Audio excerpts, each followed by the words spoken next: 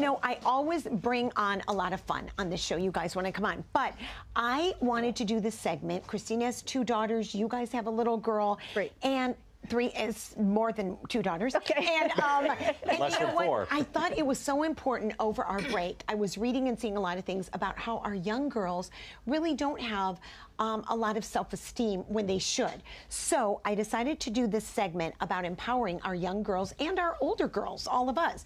So I wanted to tell you about a couple of things that happened. First off, um, there was a little girl and how one girl can literally change the world. There was a little girl, and her name is Charlotte Benjamin, and she loved building blocks, her Legos. I'm sure Kai and Avery play with Legos, and she was playing with the Legos people, and she said, "You know what's so strange? Um, the the little girl Lego." People don't go anywhere. They stay home and they wear a bathing suit. But the little boy Lego people go on adventures and they're builders and they're all this. So um, the Lego people listened, and coincidentally enough, this was what she wrote to them. Charlotte Benjamin said, All the girls did. Lego people would sit at home, go to the beach, and shop. They had no jobs, but the boys went on adventures and they worked and they saved people and they even swam with sharks. So, guess what happened, Mark? They listened, and coincidentally, the Lego people they started this thing called the Research Institute. And look what they did. They're sold out. They sold out in 48 hours worldwide of this Lego hmm. building system where the girls were scientists and astronauts and all these wonderful things. And so we couldn't bring it today because they're sold out. Oh. Isn't that great That's, news? that's, I mean, I love That- that. That's a that's- wonderful that's- story. I love that story. And I applaud Legos for, for stepping Yes. up, Yes, right? Absolutely. absolutely. So, and I also wanted to tell you that um, some facts about women. In 1917, Jeannette Rankin was the first woman uh, voted to Congress, and then a woman was responsible for inventing the first solar heated home. And um, the percentage of Fortune 500 CEOs, guess how many? Guess what percent women? are? Percentage of 500, Fortune Of 500 is Fortune fi- fi- 500. Today? Yes, right now. Guess what the percentage is? 43? 32. 4%. Oh, What? what? I don't That's like why that. we're doing this segment. Wow. So let's Wow, get started. you set us up I for know, that. I know. Wow. Wow. There you go. So let's That's get started. done. Okay, Yeah, and yeah. let's build our Okay. girls into being Wow. CEOs. So the first thing is you and well, all of us right here, all of us girls. This is called GoldieBlox. Do you get it? Yes. so even though we're CEOs, we can still be girly.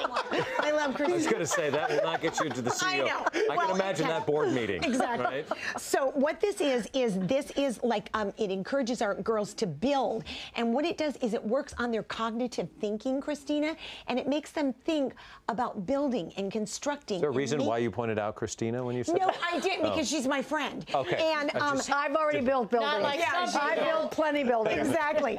and it was made, this actually was made by a woman who was turned down by all the different co- uh, toy companies, who is an engineer. And she um, Oh. Oh. created it, and she's Stanford educated. So a great project. Another thing, like, look at how cute this is. Again, it's more about building than just I know maybe- Lawrence, so try that, Lawrence. Yeah, Lawrence Try can it. do this. Little Lawrence can do it. See? Look at. Good job, Boo. Thank you. Good job. I love this one of Lawrence's books? oh gosh! You know what? Wouldn't that have been hilarious if out of the back?